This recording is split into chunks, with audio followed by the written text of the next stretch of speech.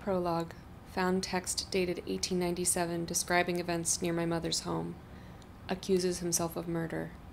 He buried the body, exhumed it, threw it into Onondaga Lake after tying a stone about the neck.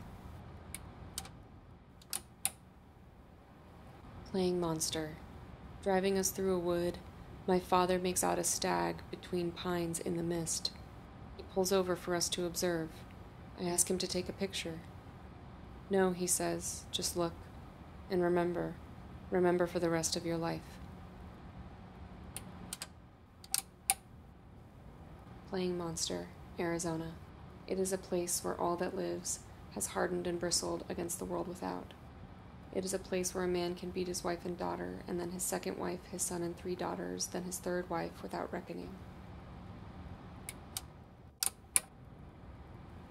Seiche, a phenomenon that occurs within a confined body of water, such as a lake, sea, or pool.